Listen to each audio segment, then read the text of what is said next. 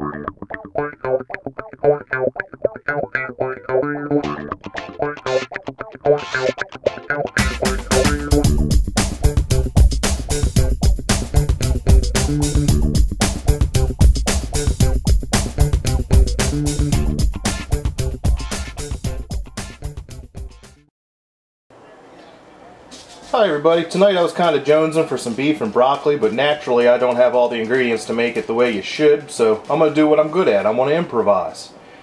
I uh, got some broccoli.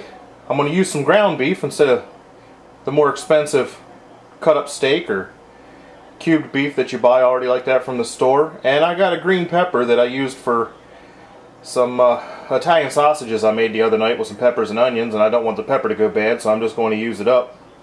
So uh, the first thing I'm going to do is fry up the ground beef, drain the grease out of it, and I'm going to defrost the broccoli, and I'm going to dice up the peppers, and that'll all be done when I come back.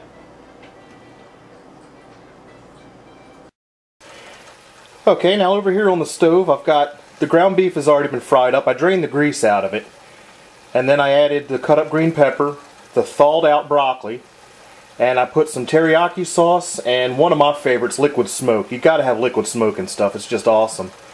And uh, that's sitting there just frying up. Now I'm to move the camera a little bit. Pardon me for the shake. We're to come over here in this bowl here in front of you.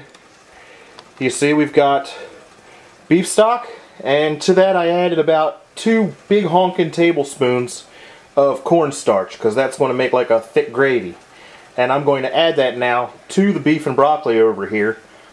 Uh, turn it, uh, bring it to a boil, turn it down to simmer, and just let it sit. And while it's sitting, I'm going to boil up these egg noodles, or these, actually, these were given to me. I'm not even 100% sure what they are. These are uh, Amish egg noodles. Uh, I just had them in the pantry. My mother-in-law gave them to me, and I decided to use them up instead of looking at them all the time. So uh, I'll be back in a moment. Alright, now there's the, the topping, the actual beef and broccoli. Like I said, it's ground beef, uh, some bagged broccoli that I thawed out, some chopped green peppers, teriyaki, liquid smoke, and about two cups of beef stock with uh, cornstarch mixed in to make it thicker. Now once again, I'm going to move the camera. Apologize for the shaking going on. Uh, got two plates here. I'm making dinner for my wife and I while I'm filming. Um, I've divvied up the noodles in half between the two plates. I know the serving size look is a little excessive, but with all the tornado warnings and watches and everything else we've had around here the last couple days, we really haven't had a lot of time to eat. So, uh,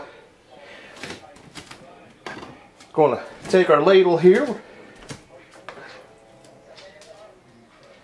and just dump that goodness on top of the noodles.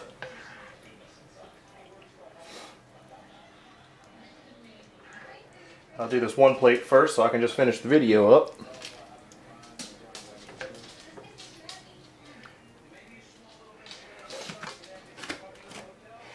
Now, there you go. Like I said, I'm good at finding stuff around the house and making something good at it. I didn't have what I needed to make it right, so I improvised.